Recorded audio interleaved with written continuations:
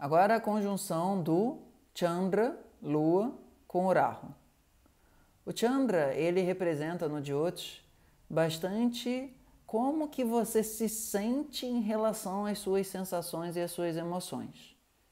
Quanto mais o Chandra no mapa ele está é, bem posicionado e, digamos assim, não aflito, mais ele tende a enxergar uma agulhada no corpo dele como uma festa.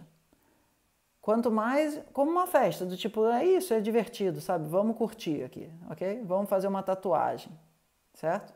Quanto mais o Chandra está aflito no teu mapa, mais você, assim, uma borboleta pousa em você, você acha que é uma aranha. Ok? Então, como que você, de alguma forma, se relaciona com as sensações do mundo?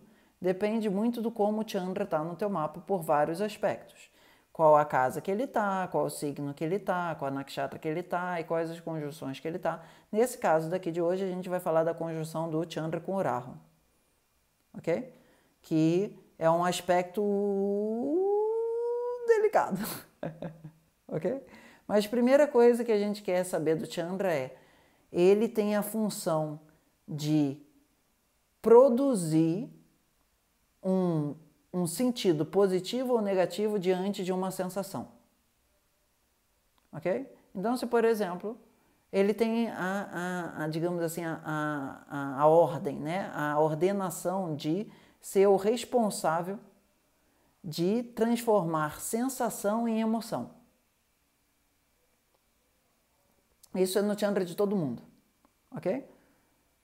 Então o Chandra ele é aquele fator kármico que filtra sensação em sentimento e emoção. Colore, dá contorno, dá borda, dá preenchimento, ok? Então, por exemplo, se você é uma pessoa que gosta da cor vermelha, tá? Aí você chega e vai comprar uma roupa, tá?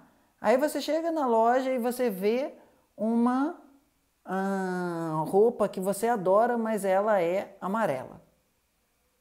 Ok? Se o teu Chandra for um Chandra muito forte, ele vai olhar aquela forma daquela flor, daquela uh, roupa, e mesmo que o amarelo você não goste, ela vai falar: eu consigo não usar o vermelho, porque eu consigo abstrair o vermelho enxergar a forma ali. E por mais que o amarelo não me incomode muito, o que, eu, o que, eu, que o amarelo não gosto muito, eu na verdade quando olho para aquilo eu enxergo a forma e não enxergo a cor. Eu consigo estar satisfeito com uma coisa que a princípio não me agrada muito. Consegue não só ver, sentir. Ok? Você consegue se sentir bem com aquilo. Ok? Então, quando um Chandra está é, balanceado, como está aqui no gráfico que eu estou te mostrando, ele fica contentado, ele fica capaz de aceitar as coisas, ele fica seguro, ele fica acolhedor, ok? Quando. É, é, calma, que a gente está primeiro botando na mesa o que, que é um Chandra de cada um deles. E aí a gente vai misturar com o Rahu, ok? Então, quando um Chandra está, é, digamos assim, hiperanimado, exaggerated, ele fica muito emocionalmente instável, turbulento, muda de é, impressão uma, uma hora, assim, tipo, você está na loja lá de comprar a, a roupa, ok? Aí você está ali quase que pagando o negócio da roupa amarela, que era da forma que você gostava, aí o cartão não passa, e você fala, hum, isso daqui não foi um bom sinal. Melhor não levar, não. ok? Você fala, eu, eu não gosto desse tipo de sinal, eu, digamos assim, eu tenho uma capacidade muito grande de estar tá uma, um segundo gostando terrivelmente daquilo, no segundo seguinte falar, não quero isso mais. Ok? Então é uma mente muito radical, no sentido de que num dia te amo, no outro dia nunca mais fala comigo. Ou seja, é uma pessoa hum, volitiva, ok? ela é intensamente te amo intensamente não fala mais comigo. Ok? E às vezes isso acontece no estalar de dedos. A gente vai ver que a conjunção com orarro tem muito dessas características. Ok? Ok. muito bem. O que, que é uma, um Chandra fraco? O que, que é um Chandra em algum grau deprê? Que tem a ver um pouco com o que a gente estava conversando também. Meio que essa pessoa ela gosta de um vestido da forma X e da cor Y. Ok? Ela chega na loja, encontra o vestido da cor X e da cor Y. Só tem uma peça na loja e é do tamanho dela. Ok? Aí essa pessoa olha e fala: Ai, não tenho muita certeza se é isso que eu quero. Ai, mas será que isso vai é realmente o que eu preciso? Ela é uma pessoa que ela é insegura do que quer. Ela saiu de casa falando: eu preciso de um vestido do formato X e da cor Y. Quando ela saiu de casa, ela saiu ali segura, ok? Mas quando ela encontrou o que era, ela se questiona muito fácil. Será que é isso realmente que eu quero? Ou então do tipo assim, é, o negócio, vestido XY chega na frente dela e ela fala assim: ah, hoje eu não estou querendo saber de vestido XY. Ela, de alguma forma, é o contexto do se sabota, que a gente estava conversando antes.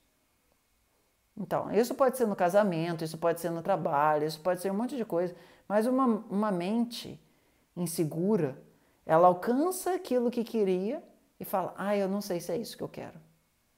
Ok?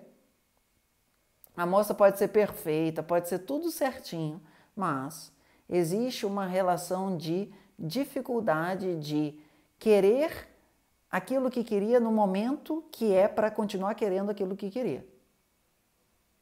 Entende? Chega na loja com um vestido XY, é a única peça, e a pessoa fala: Puta, não sei se é isso que eu quero. e a amiga que está do lado fala: Você tá louca? É a única peça da loja. O cara disse que saiu de. Como é que é o nome disso? Saiu de linha, nunca mais vai ter. Compre isso agora. Aí você fala: Ai, não sei, não sei se eu vou comprar e tal. Aí, se você tem uma, um Júpiter do lado, fala: Vou comprar para você, que eu sei que depois, do que eu te conheço, depois você vai querer isso de novo é basicamente uma, uma lua debilitada tem a dificuldade de tomar a ação que faz ela contente. Ok? Muito bem. Isso tem muito a ver com uma conjunção do Lua com Keto, muitas vezes. Mas aqui o que a gente está querendo falar é do Lua com Rahu, que é mais daquele perfil do tipo: te amo num segundo, no outro segundo, cara, nunca quis você do meu lado. Ok? Calma. Segura aí que a gente ainda tem um aspecto importante para falar do Rahu. O Rahu, ele representa tudo que a gente faz de uma forma eufórica. O Keto, ok, o Keto ele representa tudo que a gente faz de uma forma na negação. No, digamos, buraco negro é o Keto, supernova é o Rahu. Eles são duas pontas de um mesmo fenômeno. Quando o universo está se expandindo loucamente é Rahu, quando o universo está se contraindo loucamente é Keto. Ok? Mas são pontos extremos. O universo não está, digamos, estável ali. Então, nesse lugar, o Rahu por si só, ele representa muita capacidade da gente estar exaltado. E o Keto representa muita capacidade da gente, em alguma forma, estar tá retirado. Não vou dizer nem deprimido, mas assim, saindo dali.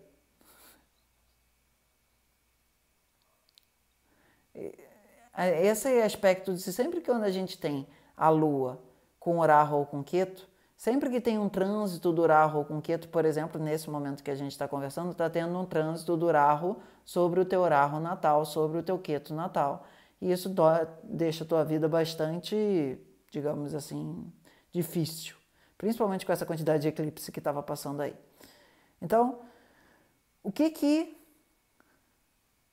é, isso, esse trânsito do Rahu e do Keto, ele leva 18 anos para acontecer de novo. Então, quando a gente tem uns 18 anos e qualquer coisa, a gente tem o primeiro retorno do Rahu Keto. Quando a gente tem uns 36 e etc, 37, a gente tem um segundo. Ok? Isso é meio que, entre aspas, idiotisticamente explica a noção da gente de 18 anos de idade poder tirar carteira de trânsito. Uh, a gente, de alguma forma, amadurece um pouco nesse primeiro volta do Rahu. Mas, bom, o que eu quero citar aqui é pessoas que têm a conjunção do Rahu com a Lua tendem a se sentir completamente outcasts, é, estrangeiros, alienígenas, não convencionais, às vezes meio que de alguma forma loucos no sentido de que as pessoas olham para aquela pessoa e falam: "Nossa, ela é meio louca. Ela é meio esquisita. Ela é meio instável. Ela é meio ela é meio, como é que se diz, de outro planeta. Não sabe onde estacionou a espaçonave, perdeu ou minha casa, onde que eu volto, o ET, sabe? Então, essa conjunção do Chandra com o Ketu, quando ela está integrada, quando ela está harmoniosa, ela produz aspectos de grande sagacidade, do tipo, em 2030 vai acontecer alguma coisa. Em 2020 essa pessoa já consegue ver o rastro da pólvora. E ela fala assim: lá na frente vai acontecer isso. E via de regra ela acerta. OK? Ela é uma capacidade de olhar para o futuro e pegar a coisa de uma forma que, tipo, as pessoas falam, como é que você fez isso? Ela fala, ah, em 2020 eu comecei a fazer isso. Mas por que, que em 2020 você começou a fazer? Porque eu tenho um Chandra Kural. Entendeu? Ela tem uma capacidade muito grande de independência e, por um lado, uma grande incapacidade de dependência e uma grande capacidade de olhar o mundo de uma forma completamente diferentona. Sabe aquele perfil do Instagram da diferentona? É muito diferentona da média, cara. É muito diferentona. Você olha e fala, de onde a garota tira isso? Ok? Mas esse também é um perfil bom para você estudar de e etc., no sentido de ver o fluxo da moda, de ver o fluxo da sociedade, é um olhar sociológico sobre a vida. É um olhar de você olhar assim e falar, cara, agora que 2020 aconteceu o Covid, um porrilhão de mudança social vai acontecer. E você simplesmente fecha o olho e você começa a pensar no assunto e começa a vir um monte de clareza de informação que, na maior parte das vezes, raramente é 100%, ok? Mas, sei lá, um 80%, um 80%, 90% das vezes você consegue ter uma certa mira curada quando esse processo está harmonioso. Calma. quando ah, esse sistema está desarmonioso, isso significa uma mente inquieta para tudo quanto é canto. E muita ansiedade, muita agitação mental e o que era uma, um rastro de pólvora vira um grande labirinto. Você quer estudar tudo ao mesmo tempo. E você, é, quando não quer estudar tudo ao mesmo tempo, você não quer estudar mais nada na vida, porque nada disso ajuda. Fica um aspecto hum, instável do processo, ok? Então, Isso você vê que nem foi eu que escrevi, essa tabela nem é minha, mas você está vendo aí. Ah, o ponto todo é a conjunção do Rahu e do, Kit, ou do Rahu e do Chandra é uma conjunção de fato difícil de se lidar se você não tem uma pré-informação de que aquilo dali é válido, de que aquilo ali existe, ok? E só para fechar a parte do vídeo, vamos fazer a seguinte acordo. Quando o Chandra e o Rahu eles estão a menos de 10 graus de distância, no teu caso estão. Quando o Chandra e Rahu estão no mesmo signo, no teu caso estão. Quando o Chandra e Rahu estão numa mesma nakshatra, no teu caso não estão. E quando o Chandra e o Rahu estão no mesmo padá, no mesmo 3 graus e 20 de uma mesma nakshatra, mais a ordem do bolo da noiva vai crescendo camada ok? Então, não é só do tipo se eles estão muito perto ou não, envolve o quanto que eles estão numa mesma nakshatra, e no teu caso, o fato dele não não tá, como a gente vai conversar daqui a pouco, é muito importante para você aprender a navegar nessa combinação. Porque quanto mais eles estão na mesma nakshatra e no mesmo padar, por exemplo, no teu caso, se você tivesse nascido algo em torno de umas três horas mais cedo, isso já seria suficiente de eles estarem na mesma nakshatra e uh, estarem no mesmo padai, cara, isso ia ser muito, muito mais complicado por um certo grau. Ok? Então, você agradece a tua mãe da tua bolsa você ter ficado lá dentro às seis horas, porque essas seis horas foi o período de ajuste para você nascer com o teu Chandra em outra nakshatra, ok? Agradece tipo o teu karma nesse sentido, porque quando o Chandra e o Rahu estão na mesma nakshatra e no mesmo padamano, é, é, é, é super teste, não é qualquer teste não. Agora, a partir do que a gente conversou, a gente vai falar no teu mapa do como lidar com isso, qual é a nakshatra que cada um tá e etc. Vamos lá?